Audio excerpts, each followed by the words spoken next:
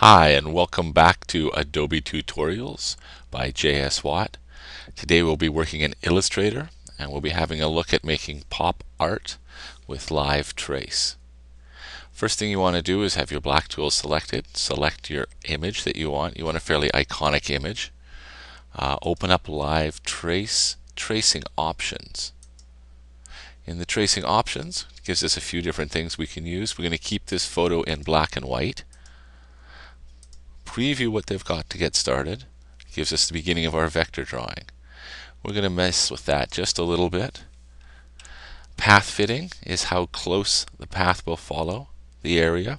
Minimum area, how many pixels are in the minimum amount of area uh, that the vector shape will trace. And the corner angle, how tight the corner is going to be to call it a corner. Once you get something that you like by using the different options, it will set up a, a, a set of shapes for you. Click on Trace, trace your shape, and then expand it. Once the shape has been expanded, you will be able to see the different shapes inside of here by using your white tool and selecting with that. We'll be able to select the different groups, the individual shapes in here. We'll start with this eye. We'll start on this side. We want to change the color. We're going to have to change it from the grayscale that we're in into RGB and then select a color for that eye.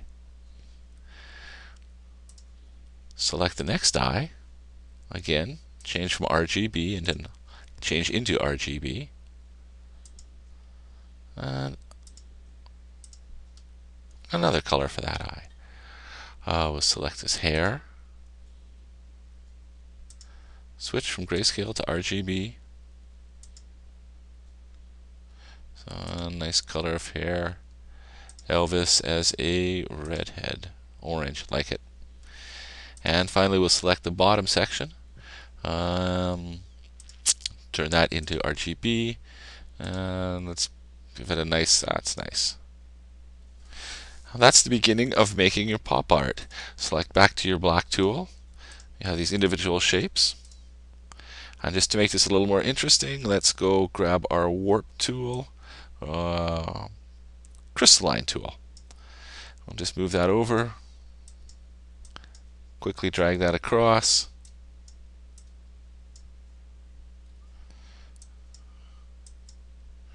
Click and drag as you move it across. Uh, in case you just some interesting. There we go. Now we're starting to talk art. That is Live Trace and the Crystal tool in Adobe Illustrator. Thank you very much. See you next time.